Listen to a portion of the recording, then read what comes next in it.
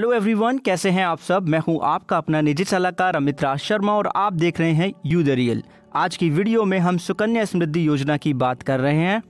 देखिए, सुकन्या समृद्धि योजना को ही सुकन्या समृद्धि अकाउंट कहा जाता है, क्योंकि अलग से इसमें आपको एक पासबुक मिल जाती है। अब इस वीडियो में क्या क्या इन्फॉर्मेशन आपको मिलने वाली है, उसका मैं छोटा सा समरी दे देता हूँ। हम समझेंगे कि कौन सुकन्या समृद्धि योजना का फ़ायदा ले सकता है, कौन नहीं, एक साथ। कितने अकाउंट ओपन किए जा सकते हैं सुकन्या समृद्धि के? विड्रॉल, डिपॉजिट को लेकर लिमिट क्या है? कब तक हमें डिपॉजिट करना है, कब तक नहीं, ये भी समझेंगे। ये भी समझेंगे कि अकाउंट ट्रांसफ़र हो सकता है या नहीं, डेथ केस में क्या होगा, डॉक्यूमेंटेशन क्या रहेंगे और इलस्ट्रेशन भी हम इसका देखेंगे। तो हम बिना समय गवाए सबसे पहले बात करते हैं कौन इसका फ़ायदा ले सकता है। कोई भी भारतीय मतलब कोई भी भारतीय जिनके घर में एक बच्ची हो बेबी चाइल्ड हो, जिसे हम फीमेल चाइल्ड भी कहते हैं तो उस फीमेल चाइल्ड के गार्जियंस या पेरेंट्स मतलब माता पिता या उसके अभिभावक, सुकन्या समृद्धि अकाउंट ओपन कर सकते हैं। आप कौन नहीं कर सकता है? N R I non residents Indian जो है, वो इसका लाभ नहीं ले सकते हैं और किसी के घर में अगर गर्ल चाइल्ड नहीं है तो उनको भी इसका लाभ नहीं मिलेगा। अब एक साथ कितने सुकन्या समृद्धि अकाउंट ओपन किए जा सकते हैं? दो किए जा सकते हैं। अगर अलग अलग बच्चियाँ हैं तो। बट किसी के घर में ऐसा हुआ है कि एक बच्ची हो गई और उसके बाद में दो, दूसरा जब डिलीवरी हुई तो वो ट्विंस निकले मतलब जुड़वा बच्चियाँ निकली तो इस केस में आप तीन सुकन्या समृद्धि अकाउंट ओपन कर सकते हैं। डिपॉजिट एंड टर्म का लिमिट एंड कंडीशन यहाँ पे समझ लेते हैं। सबसे पहले तो इसमें जो डिपॉजिट टर्म है, वो पंद्रह साल है मतलब आपको पंद्रह साल पैसा देना है अपना, और इक्कीस साल जब हो जाएँगे कंप्लीट तो आपको मेचोरिटी मिल जाएगी। मिनिमम मतलब कम से कम ढाई सौ रुपये आप पे करेंगे, अधिक से अधिक आप डेढ़ लाख रुपये तक इसमें पे कर सकते हैं हर साल। तो देखिए मिनिमम और मैक्सिमम में अंतर है तो अलग अमाउंट आप पे करना चाहे तो वो भी आप पे कर सकते हैं। किसी ने पूछा था कि अलग अलग अमाउंट पे कर सकते हैं, नहीं, आप करना चाहो तो कर सकते हो। अब आती है विड्रॉल को लेके लिमिट की। सबसे पहली कंडीशन है कि उम्र 18 साल की होगी, तभी आप पार्शल विड्रॉल इसमें कर पाएँगे। हायर स्टडी के लिए आप कर सकते हैं, उसके लिए आपको एडमिशन और जो फ़ीस से संबंधित जो एविडेंस होंगे, वो आपको देने होंगे डॉक्यूमेंट सबमिट करने होंगे। या फिर बच्चे की शादी हो रही हो, तब आप ऐसा कर सकते हैं। और अब तो आपको पता है कि कानूनर 21 साल की उम्र कर दी गई है शादी की। और ऐसे में आप अकाउंट बैलेंस का 50 प्रतिशत तक ही आप विड्रॉल कर पाएँगे। ठीक है जी?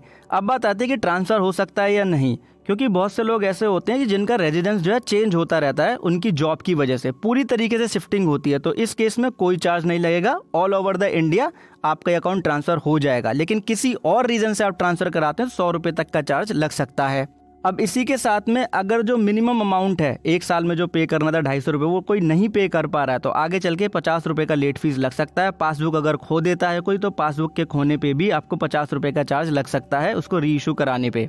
आइए अब बात कर लेते हैं डेथ केस की। अगर पेरेंट्स या गार्जियंस में से किसी की डेथ हो रही है और बच्चे की उम्र 18 साल की हो चुकी है मतलब बच्ची अब अडल्ट है, बच्ची नहीं रही है तो इस केस में बच्ची अगर चाहे तो अकाउंट को कंटिन्यू रख सकती है। ठीक है जी?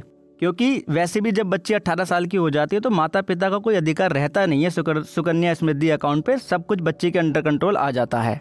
बट अगर जो है बच्ची है, वो वयस्क नहीं हुई है, और मान लो बैंक में किसी ने सुकन्या समृद्धि अकाउंट ओपन किया था तो बच्चे के साथ में कोई ना कोई जाएगा बैंक में और बताएगा, भाई माता पिता थे अब नहीं रहे हैं, और वो डॉक्यूमेंटेशन जो होगा फॉर्मेलिटी कंप्लीट करेंगे, जैसे डेथ सर्टिफिकेट वगैरह।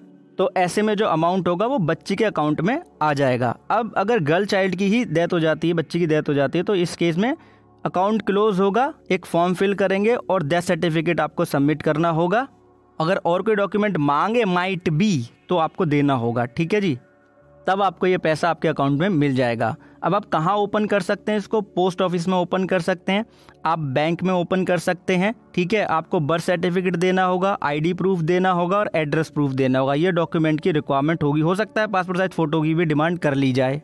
अब बात आती है इलस्ट्रेशन की मतलब उदाहरण। मान लो बच्ची की उम्र एक साल की है, सालाना पचास हज़ार रुपये पे किया जा रहा है। पंद्रह साल तक हम पे कर रहे हैं। इक्कीसवें साल पे हमें मेचोरिटी मिलेगी। तो टोटल पंद्रह साल में पचास हज़ार के हिसाब से साढ़े सात लाख रुपए यहाँ पे पे हो जाएँगे। मेचोरिटी पे इक्कीस लाख सत्तानवे हज़ार छः सौ नवासी रुपये अप्रोक्सीमेटली मिल जाएँगे। क्यों? क्योंकि सात दशमलव छः प्रतिशत का रेट ऑफ़ रिटर्न आपको मिलेगा, जो कि कंपाउंडिंग होगा। ठीक है जी? अब रेट ऑफ़ रिटर्न को लेके इसकी हिस्ट्री भी थोड़ा सा आपको बता देता हूँ। 2016 में आठ दशमलव पाँच प्रतिशत था रेट ऑफ़ इंटरेस्ट ठीक है? और 2018 में 30 जून में ये आठ दशमलव एक प्रतिशत हो गया और अप्रैल 2020 में सात दशमलव छः प्रतिशत हो गया। और अभी भी अगर आप चेक करेंगे, जो भी इस तरीके की गवर्नमेंट सॉवरेंट स्कीम है, उनमें अभी भी इसका जो रिटर्न है वो ज़्यादा है। बच्चे की उम्र ज़ीरो से लेकर दस साल के बीच में होगी, तभी आप सुकन्या समृद्धि अकाउंट ओपन कर सकते हैं। अब बात आती है कि सारी इन्फॉर्मेशन हम कहाँ से क्रॉस चेक करें और आप बहुत से लोग होते हैं कन्फ्यूज़न रहता है, फिर भी। तो देखिए, ये लिंक है ना ये? N S I national saving institute का, ठीक है? इसका लिंक मैंने डिस्क्रिप्शन में दिया है, वहाँ पे जब आप क्लिक करेंगे तो ये इंटरफेस आपके सामने आ जाएगा और सुकन्या समृद्धि अकाउंट स्कीम का पूरा इन्फॉर्मेशन आपको वहाँ पे मिल जाएगा। कौन सा फॉर्म है? फॉर्म की डिटेल भी यहाँ पे मिल जाएगी लिंक वहाँ पे अटैच्ड है।